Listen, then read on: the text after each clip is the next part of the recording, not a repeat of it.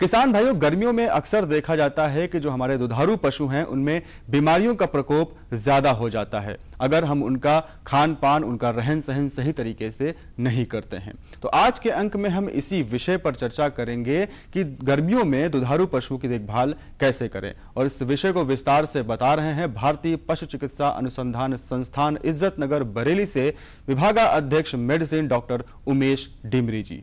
गर्मियों में तो देखिए इस समय तो हमें ये जो आप बोल रहे हैं डायरिया बुखार और हीट स्ट्रोक जैसे आज लू जैसा लग जाना बहुत हाई टेम्परेचर में है उससे हमें बचाव के लिए एक इसीलिए हम सोचेंगे जहाँ पर हम जानवर को ले जाएँ ऐसी जगह ज़रूर ले जाएँ दिन में।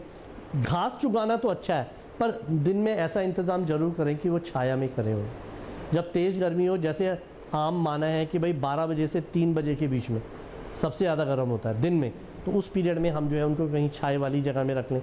दूसरी बात क्या है, बॉडी से पानी की भी कमी होने लगती है। गर्मियों में तो डिहाइड्रेशन भी एक प्रॉब्लम है। इसलिए ये ज़रूर इंतज़ाम रखें कि हम जहाँ जानवर को चुगाने के लिए जाएँ, वहाँ पर उनको पानी सही मिले। अच्छा साफ़ पानी मिल जाए और जितना होनी चाहिए उतना पानी। आप अब हम अपने को भी देख रहे हैं बार बार प्यास लगना बार बार तो उसका भी एक, ये फ़ायदा है गर्मियों में कि अगर पानी उपलब्ध है तो पानी अपना पी लें। इसके अलावा जो आपको विशेष ध्यान देना पड़ेगा ना, एक गर्मियों के सीज़न के लिए, इस पूरे हमारे क्षेत्र के लिए, जैसे खुरपका मुँह पका बीमारी है और गल घुटू बीमारी है, गाय भैंस की मैं बता रहा हूँ, ऐसी बीमारियाँ जो इस सीज़न में अब गर्मियों के बाद बरसात होगी और तुरंत आउटब्रेक्स होने लगते हैं इनके। ये हम ज़रूर ध्यान रख लें कि एफएमडी और एच एस हेमोरेजिक सेप्टिसीमिया जो कि गल घोटू इन दोनों बीमारियों के लिए हम गाय भैंस को इस सीज़न में ज़रूर वैक्सीनेट करवाएँ। बरसात से पहले ये टीका जो लगाने के पर कितने दिनों तक ये काम करता है? ये टीका अलग अलग पहले आईवीआरआई में बनता था जो गल घोटू का बनता था वो तो एक साल में एक बार। अप्रैल मई मार्च अप्रैल मई में लगा लिया फिर दूसरे साल लगाया।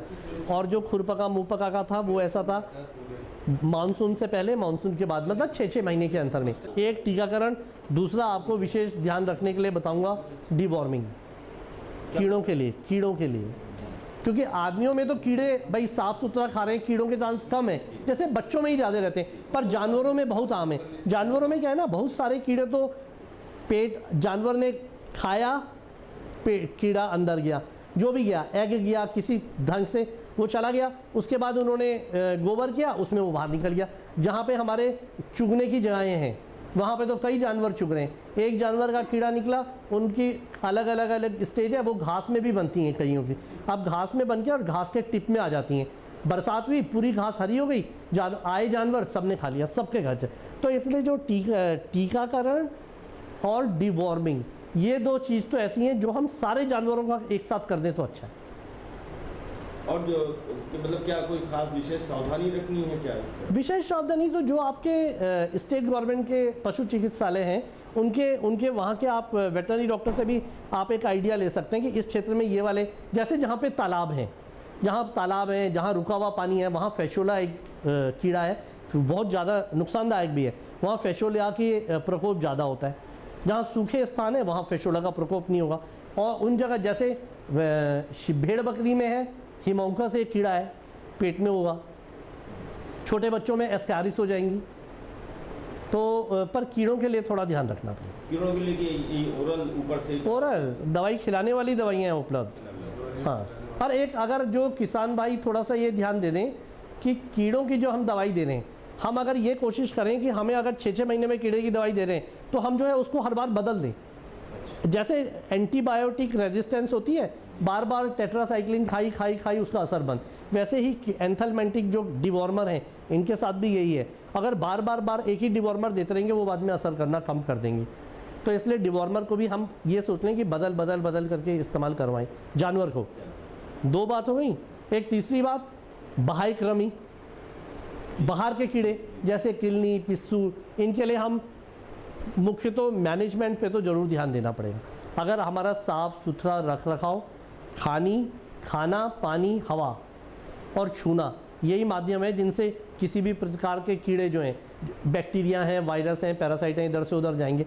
इन चीज़, इन सब चीज़ों में हम विशेष ध्यान दें। जो बीमार जानवर है, उसको इलाज तो करना ही है, पर जब तक वो ठीक नहीं होता, तब तक पता लगता ही कि जानवर बीमार हो रहा है, उसको और जानवरों से आप अलग कर दी। कहीं उसको ऐसी बीमारी ना हो जाए जो औरों पे भी सर जाए। तो जहाँ लगा जानवर बीमार होने वाला है, लग रहा है बीमार हो रहा है तो आप उसे तुरंत बाकी जानवरों से अलग कर दीजिए। फिर आप इलाज हम कर सकते हैं इंडिविजुअल जानवर का। तो हमें मैनेजमेंट में ज़रूर ध्यान दें, जिस समय जानवर सारे पशुओं का आहार हम बहुत अच्छा नहीं कर सकते तो कम से कम जो जानवर बीमार हैं और जो कमज़ोर हैं, उनको या जो गाबन हैं, बच्चे हैं, उनको हम ज़रूर जो हैं मिनरल मिक्सचर टॉनिक्स इस ढंग का जो भी खाद्य पदार्थ हैं, अगर भी उनको दें, हर ढंग का घास चारा दें कि उनको किसी भी चीज़ की कमी ना रहे।